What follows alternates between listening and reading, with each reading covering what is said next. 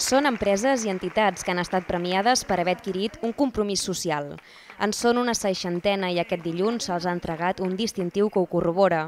Participen a la Fira de la Setmana de la Responsabilitat Social a Catalunya, la RSC, una cita que ja arriba a la cinquena edició i que té com a objectiu conscienciar a tots sobre la importància d'aquest tipus de responsabilitat com a eina necessària per tirar endavant els negocis. És allò que les empreses doncs, fan a més a més de fer bé el seu producte o servei.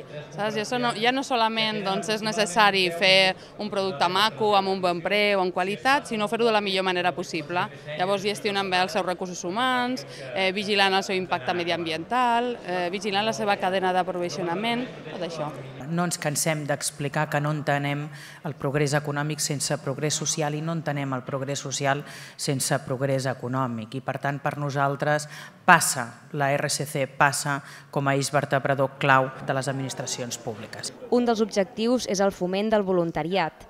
És per això que acaba de néixer a Barcelona l'Oficina del Voluntariat Corporatiu, un nou espai de trobada entre empresa i tercer sector consisteix en que treballadors d'empresa fagin voluntariat amb entitats del tercer sector, amb l'objectiu de, per una part, eh, incorporar el voluntariat com a política de responsabilitat social a les empreses i a l'altra proporcionar a les entitats eh, recursos no econòmics però sí molt valuosos professionalment.